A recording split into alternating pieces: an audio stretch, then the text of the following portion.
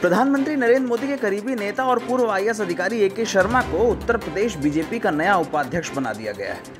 अरविंद शर्मा कुछ महीनों पहले बीजेपी में शामिल हुए थे। पिछले दिनों राजनीतिक गलियारों में ये चर्चा हो रही थी कि योगी मंत्रिमंडल के विस्तार में ए के शर्मा को गृह मंत्री बनाया जा सकता है। मुख्यमंत्री योगी आदित्यनाथ के दिल्ली में पीएम नरेंद्र मोदी और गृह मंत्री अमित शाह से मिलने के बाद भी इन चर्चाओं को बल मिला था। हालाँकि ए के शर्मा को अब पार्टी में नई ज़िम्मेदारी सौंप दी गई है। यूपी बीजेपी ने अरविंद शर्मा को अब प्रदेश उपाध्यक्ष बनाया है। इसके अलावा विभिन्न मोर्चों के प्रदेश अध्यक्षों की भी घोषणा की गई है। इसके अलावा शनिवार को विभिन्न मोर्चों के प्रदेश अध्यक्ष पद की भी घोषणा की गई है।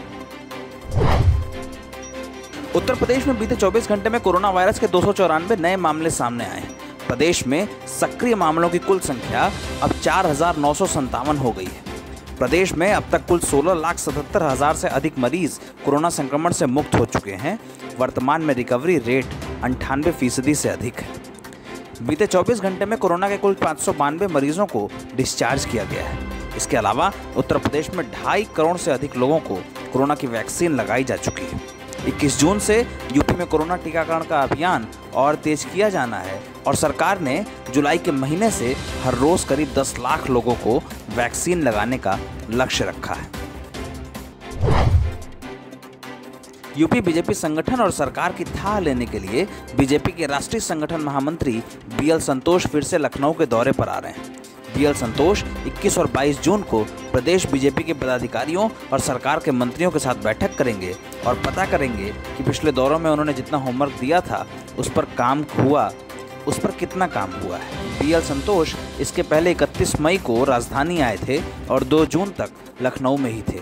बीएल संतोष ने पिछले दौरे में यूपी, बीजेपी और सरकार को लक्ष्य दिया था कि वह कार्यकर्ताओं की चिंता करे। कोरोना ने जिन कार्यकर्ताओं की जान ली है, संगठन के नेता, उनके घर जाएँ और उनके परिवार की हर संभव मदद करें।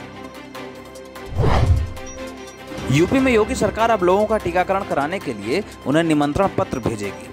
आमंत्रण पत्र पर टीकाकरण की तिथि और स्थान लिखा होगा। उत्तर प्रदेश सरकार ने जुलाई से हर दिन 10 लाख से अधिक लोगों का टीकाकरण का लक्ष्य निर्धारित किया। योगी सरकार ने अपने व्यापक अभियान के तहत जून के पहले 14 दिनों में ही प्रदेश के 50 लाख से अधिक लोगों का वैक्सीनेशन कराया। योगी सरकार ने जून में एक करोड़ लोगों के वैक्सीनेशन का लक्ष्य निर्धारित किया था। 14 जून को जारी बयान के मुताबिक यूपी में लक्ष्य के सापेक्ष 50 लाख से अधिक लोगों का वैक्सीनेशन कराया जा चुका उत्तर प्रदेश में शुक्रवार के बाद शनिवार को भी राजधानी लखनऊ से लेकर तमाम हिस्सों में बारिश की खबरें सामने आई। कई इलाकों में सड़कों पर जल जमाव के कारण लोगों को परेशानी का सामना भी करना पड़ा है। मौसम विभाग के अनुसार शनिवार से यूपी में मानसून रफ्तार पकड़ेगा और लखनऊ के अलावा कई हिस्सों में झमाझम बारिश भी होगी। इससे पहले शुक्रवार को लखनऊ और कानपुर में दिन भर बारिश होती रही। आंचलिक मौसम केंद्र के निदेशक जेपी गुप्ता ने कहा है कि मानसून शनिवार से रफ्तार पकड़ेगा। लखनऊ समेत पूर्वांचल के तमाम जिलों में अगले कुछ दिनों में तेज बारिश होने की संभावना जताई गई है।